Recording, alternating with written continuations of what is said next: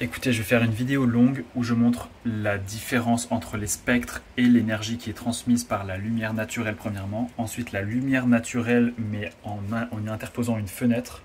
Ensuite, avec l'écran de mon MacBook. Ensuite, avec une lampe relativement chaude, euh, une ampoule relativement chaude qui est dans ma chambre. Et ensuite, avec une LED relativement énergétique qui est dans ma salle de bain. Lumière naturelle.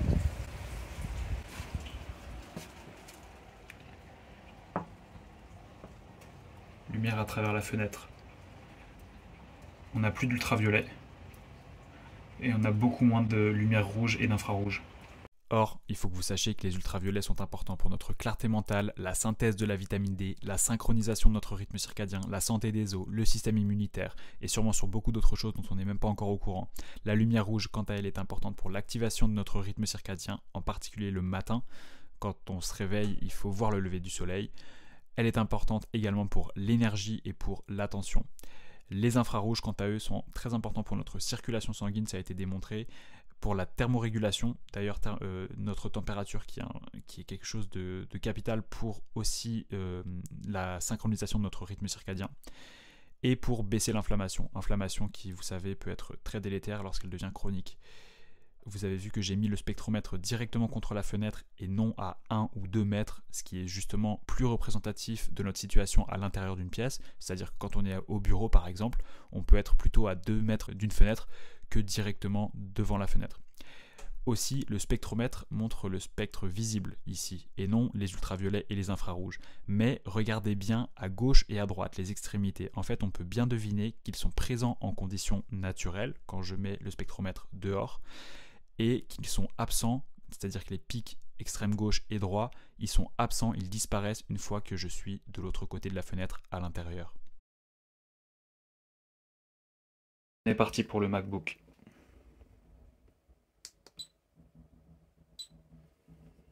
Voilà à quoi ça ressemble. C'est pas trop une lumière naturelle. Maintenant, je vais marcher jusqu'à ma salle de bain, mais en vous montrant en direct le changement des conditions lumineuses. C'est parti lumière naturelle. Lumière directement après la fenêtre. Lumière en vrai quand on est la fenêtre fermée. Et on est parti.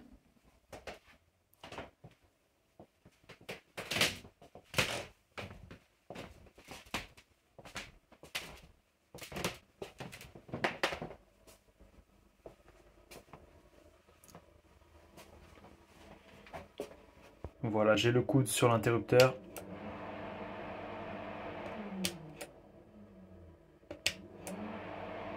Je mets le spectromètre au niveau de mes yeux. Voilà. Là, je vais essayer d'avoir exactement l'énergie. Voilà. À 450 nanomètres, on a le pic qui est de 9,2. Tout à l'heure, je l'avais à 15 même. Donc là, en fait, il est à 15 en énergie si je le mets encore plus proche.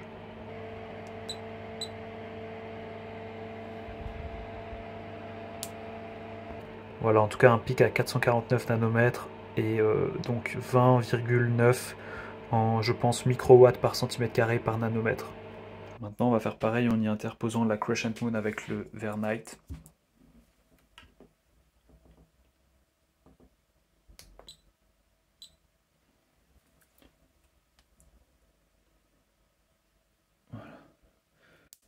Donc,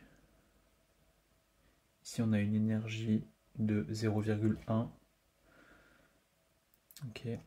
Et maintenant je vais le faire avec les verres des grandes chaînes d'optique et des marques de lunettes anti-lumière bleue qui bloquent seulement sous 410 nanomètres. Qui du coup ne bloquent pas la plage de longueur d'onde qui est pertinente lorsqu'on est devant les écrans ou de toute façon exposé à la lumière artificielle.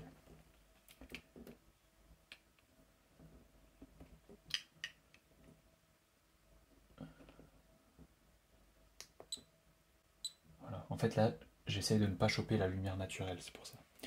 Euh, voilà, vous voyez du coup que ça sert à rien.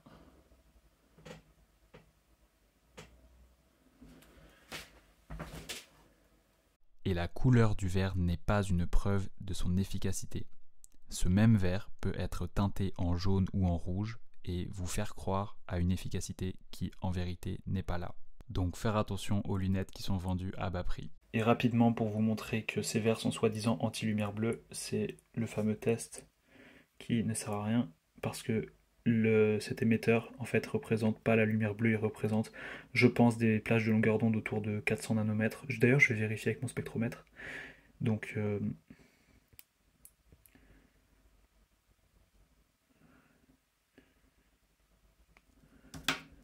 voilà. De même, je vais vous montrer ici que ça bloque sous 410 nanomètres. Attendez, c'est pas facile. Voilà. On se retrouve quasiment dans le noir juste pour la science pour voir ce qu'émet vraiment ce laser. Voilà ce que représente ce laser. Ok. On est dans ma salle de bain dans le noir et c'est une longueur d'onde à 399. Donc c'est très important de comprendre que ces verres entre guillemets transparents qui ont une petite teinte jaune sont à la fois inefficaces sur ce sur quoi on veut qu'ils soient efficaces et mauvais pour la santé. Inefficaces parce qu'en en fait, ils ne bloquent pas la plage de longueur d'onde qui est pertinente. Ils ne bloquent pas 450 nanomètres, ils bloquent sous 410 nanomètres. Ils bloquent soi-disant des fois 95% euh, de la lumière bleue, mais en fait sous 410 nanomètres. Donc en gros c'est l'argument marketing et ça ne représente rien de cliniquement pertinent. Il n'y a aucun effet sur les symptômes de la fatigue oculaire numérique, les migraines, la protection de la rétine, la synchronisation du rythme circadien, etc. Maintenant, mauvais pour la santé, pourquoi? Bah Justement parce qu'ils bloquent sous 410 nanomètres. Ils sont efficaces sous 410 nanomètres. Donc ils bloquent une petite partie de la lumière bleue naturelle parce que euh, en général ces marques de lunettes anti-lumière bleue et les grandes chaînes d'optique vous disent de les mettre pendant la journée. Et euh, donc cette petite partie de la lumière bleue, c'est entre 380 et 410 nanomètres. Et en dessous de 380 nanomètres, donc c'est les ultraviolets. Or, les ultraviolets, ils sont vitaux, ils nous servent à synchroniser notre rythme circadien, etc., relarguer la, sérotonine, euh, la dopamine et plein de processus physiques et psychiques, car l'œil, c'est une fenêtre privilégiée sur le monde extérieur. Deuxième point, encore important de comprendre cette nuance, si vous fabriquez un verre véritablement efficace contre la lumière bleue, alors le verre, il devient inévitablement plus sombre. Par contre, comme je vous l'ai dit, la couleur d'un verre en soi n'est pas une preuve de son efficacité. Donc en gros, A implique B, mais ça ne veut pas dire que B implique A. Et troisième point, si vous fabriquez un verre qui est vraiment trop efficace sur la lumière bleue et verte, voire même aller euh, dans la lumière rouge, alors le verre sera trop inconfortable. Du coup, il s'agit vraiment de trouver à la fois une bonne efficacité, mais de ne pas aller trop loin. Comme le disait Aristote, c'est le juste milieu qu'il faut trouver. On se retrouve toujours devant ma salle de bain dans des conditions lumineuses relativement faibles, ce qui permet d'être représentatif. Et ça, vous devez connaître cet accessoire que toutes les TikTokeuses et les créateurs de contenu ont aujourd'hui. On est parti pour le tester parce que ça, c'est encore pire parce qu'on le regarde droit dans les yeux. Allez, à peu près en étant représentatif, on va le mettre ici, on va pas le mettre, on va pas le coller. Voilà. Voilà ce que ça émet en étant vraiment représentatif au niveau de nos yeux. Ça a une énergie à 4,4 microwatts par centimètre carré par nanomètre. Et si on le colle, c'est assez vénère, je pense. Ouais, 50. Maintenant, admettons qu'on se protège avec une bonne solution. Je vais appuyer sur le bouton qui est là.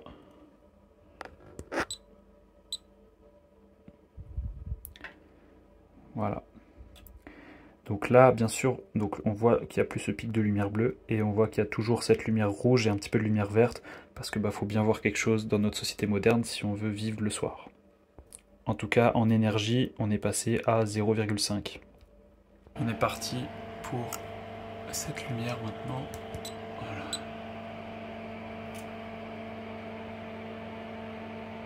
Ok. Pareil, c'est le même pic qui n'est plus là. On est passé à 1 microwatt par centimètre carré par nanomètre. Voilà, donc à travers cette vidéo, vous avez pu voir la différence entre les conditions lumineuses naturelles pour lesquelles on est fait normalement en tant qu'être humain. Ensuite, les conditions lumineuses dans lesquelles on est lorsqu'on est juste simplement dans une pièce alors qu'il fait jour dehors, ce qui est mauvais pour la santé du coup d'être à l'intérieur parce qu'on bloque les ultraviolets, on n'a pas le même spectre lumineux comme vous avez pu le voir. Ensuite, vous avez pu voir surtout après le coucher du soleil, quand il fait noir, quand on s'éclaire donc avec nos lumières artificielles, qu'est-ce que ça fait au niveau du spectre lumineux et comme vous le savez, c'est les longueurs d'onde les plus courtes qui sont les plus énergétiques. Je mettrai rapidement ici les screenshots de mon ebook. Vous pouvez mettre pause. La lumière bleue est donc 1,8 fois plus énergétique que la lumière rouge comme vous pouvez le voir sur ce papier. Et c'est ce qui du coup a le plus d'impact sur nos photorécepteurs, sur notre rétine et en particulier sur la sécrétion de la mélatonine qui ne dépend pas des photorécepteurs mais qui dépend des cellules dont je vous ai déjà parlé mille fois, les IPRGC, les Intrinsically Photosensitive Retinal Ganglion Cells. Ces cellules-là, c'est des cellules qui sont impliquées dans les voies rétinienne non visuelle. Elle se prolonge jusque dans l'hypothalamus. Donc au-delà de l'hypothalamus, on a une voie neuronale qui va à l'épiphyse, la glande pinéale, qui est responsable de la sécrétion de la mélatonine. Lorsque les hyperGC, notamment les hyperGC M1, voient de la lumière, donc y compris le soir dans notre société moderne, elles ont ce photopigment qui est la mélanopsine, qui va dire au cerveau de ne pas dormir. Aussi, j'ai lu de façon intéressante assez récemment, et pour faire court, que la dopamine augmente la transcription de la mélanopsine dans les IPRGC et augmente ainsi la sensibilité des photorécepteurs. Je vais rapidement expliquer. La transcription, vous savez que, bon, en gros, la transcription de l'ADN en ARN permet in fine de produire des protéines et la mélanopsine est une protéine. Donc, mon interprétation, et je peux me tromper, c'est que peut-être le soir, lorsque l'on éprouve trop de plaisir ou que l'on bouge trop, parce que pour vulgariser, la dopamine c'est le plaisir, la récompense, mais aussi le mouvement, la motivation, la perception du temps. Bref, quand on fait ça le soir, quand on est sur Instagram le soir et qu'on a trop de décharge de dopamine, on augmente en fait aussi notre sensibilité à l'insomnie et en particulier via ces IPRGC via cette mélanopsine et via d'autres mécanismes évidemment. Maintenant, la meilleure façon de se protéger de la suppression de la sécrétion de la mélatonine qui donne envie de dormir et qui régule toutes les autres choses dont je, vous ai déjà parlé, c'est de ne pas être exposé à la lumière artificielle le soir. C'est que, c'est en gros, c'est d'être aligné avec le soleil, être moins exposé et notamment avoir le, le moins possible les yeux face à des LED hyper énergétiques. Si vous êtes obligé de le faire, je vais me permettre de donner ce conseil médical, mais d'éviter quand même de prendre des comprimés d'hormones, donc euh, les comprimés de mélatonine, qui font mauvais ménage avec euh, vos hormones sexuelles, qui, sont, qui ont une variabilité extrême, c'est-à-dire euh, vous prenez un comprimé pour X milligrammes, et ben en vrai, vous avez soit 0,15 fois cette dose-là, donc 15%, soit 450%. La fourchette, elle est entre 0,15 et 4,5 fois. Sur prescrire.org, vous pourrez lire que les comprimés de mélatonine sont moins efficaces qu'un placebo, c'est-à-dire une gélule avec rien dedans. Et donc, la meilleure façon, c'est de ne pas être exposé aux lumières artificielles, et si vous êtes obligé d'y être exposé, dans ce cas-là, de vous protéger de la lumière artificielle. C'est la fin de cette vidéo. Posez vos questions en commentaire si vous en avez. C'est devenu la mission principale de ma vie, d'une part, de faire comprendre aux gens l'impact de leur surexposition à la lumière bleue d'origine artificielle sur leur vie, en particulier après le coucher du soleil. Donc quand je dis sur leur vie, c'est sur leur santé, sur leur performance, sur tout leur bien-être, même sur leur capacité, j'ai envie de dire, sociale, euh, sur leur anxiété, sur leur humeur, sommeil, santé métabolique, santé hormonale, capacité d'apprentissage, concentration, productivité. Toute notre vie est réglé par notre rythme circadien. Donc ça, c'est d'une part de faire comprendre cet impact-là, mais d'autre part aussi de leur permettre de réaliser leurs rêves malgré tout ça, malgré cet obstacle qui est la lumière bleue d'origine artificielle. Et cet obstacle, il s'intègre dans notre rythme circadien, dans le respect de nos rythmes, enfin dans nos rythmes naturels. Or, je pense que le respect de nos rythmes naturels fait partie de notre premier fondamental. Maintenant, je vais vous dire également les autres fondamentaux en lesquels je crois, ça n'engage que moi. C'est en deuxième, donc, alimentation et hydratation. En troisième, c'est activité physique. En quatrième, amour. En cinquième, principe directeur, avoir un but dans sa vie. But avec un B. Parce que j'ai le nez euh, cassé, donc forcément, des fois je dis un B à la place du B. Je termine cette vidéo. Restez forte, restez fort et restez clairvoyante et clairvoyant.